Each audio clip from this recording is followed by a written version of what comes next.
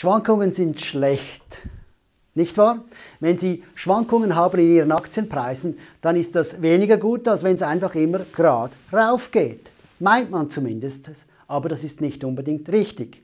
Denn wenn ihr, Ihre schwankenden Aktien sehr viel mehr steigen als die nicht schwankenden Anlagen, dann ist das eigentlich gut.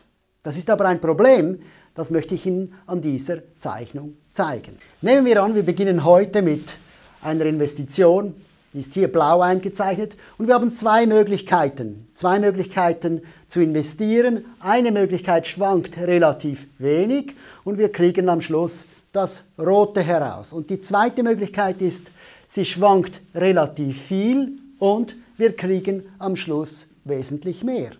Nun, welche Anlageperformance würden Sie wohl lieber haben?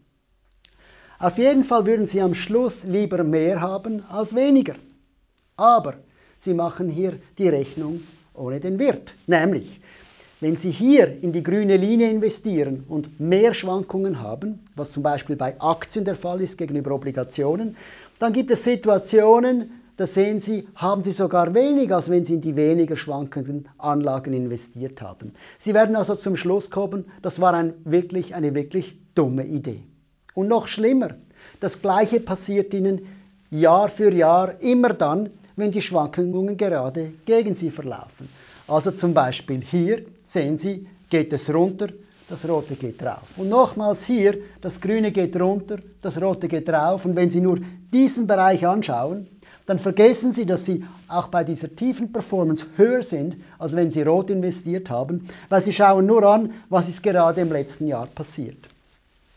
Dabei ist es offensichtlich, Sie müssen in die Investition gehen, auch wenn sie mehr schwankt, die Ihnen über eine lange Zeit mehr Rendite gibt. Denn sogar hier im letzten Jahr, als noch einmal eine starke Korrektur nach unten kam, haben Sie mehr Geld, als wenn Sie rot investiert haben, die in diesem letzten Jahr dann raufgegangen ist. Das ist eine ganz wichtige Sache, denn sie heißt, Schwankungen sind nicht unbedingt schlecht bei Aktien oder bei Anlagen im Allgemeinen. Schwankungen können gut sein. Dann nämlich, wenn wir erwarten dürfen, dass die Anlagekategorie langfristig längere Renditen erzielt. Das einzige Problem dabei sind Sie, der Sparer, der jedes Jahr schaut, was gerade passiert ist und damit haben Sie oft die Situation, dass Sie lieber in weniger schwankende Anlagen investieren, wie zum Beispiel Anleihen oder auch Barmittel, obwohl das eigentlich viel, viel weniger bringt.